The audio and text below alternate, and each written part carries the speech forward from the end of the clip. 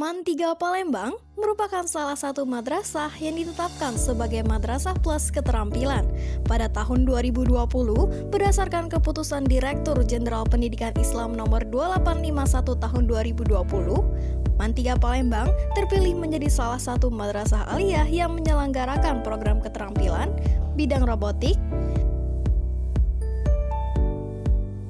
tata busana, desain grafis,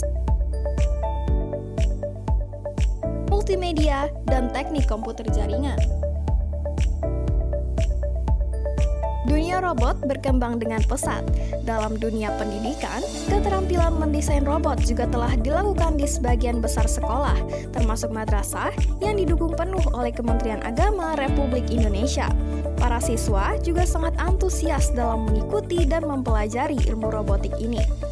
Sejak adanya keterampilan bidang robotik di Mantiga Palembang, siswa mampu meningkatkan kemampuan mendesain robot dan menghasilkan karya robot. Tak sedikit karya robot siswa Mantiga Palembang berhasil meraih prestasi juara dalam berbagai kompetisi, baik tingkat kota, provinsi, nasional, hingga internasional. Di antaranya, juara harapan satu produk inovatif Madrasah Expo 2019, juara satu line follower robot tingkat nasional kontes robot Teknorat 2020, juara harapan satu robot rancang bangun tingkat nasional kompetisi robot Madrasah 2021, gold medal Creative Open Robot tingkat internasional Asian Junior Robot Cup 2021 Thailand, dan gold medal kompetisi robotik International Asian Junior Robot Cup Malaysia 2023. Inovasi dunia fashion juga berkembang sangat cepat. Berbagai model pakaian hasil kreativitas para desainer menjadi perhatian masyarakat.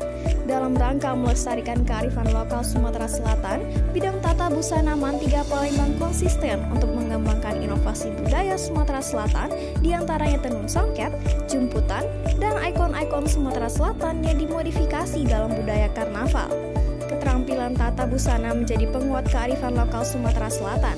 Para siswa mampu menjadikan pioner milenial yang memiliki wawasan dan keterampilan dalam mempertahankan, mensosialisasikan, serta meningkatkan hasil produksi karya keterampilan budaya lokal seperti hasil tenun songket dan jumputan di Sumatera Selatan.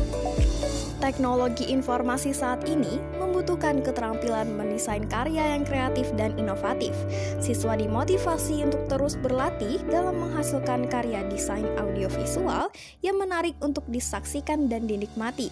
Berbagai hasil karya editing video presentasi, vlog, film dan broadcasting dihasilkan. Salah satunya, karya siswa diwadahi melalui media sosial YouTube Mantiga Palembang TV yang diberi nama Mantap TV.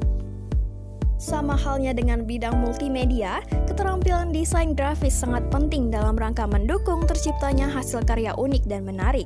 Siswa Mantiga Palembang dilatih mendesain untuk berbagai produk sehingga bernilai seni, seperti mendesain majalah, poster, mendesain gambar stiker untuk brand produk seperti MAC, dan gantungan kunci yang telah dihasilkan oleh siswa Mantiga Palembang.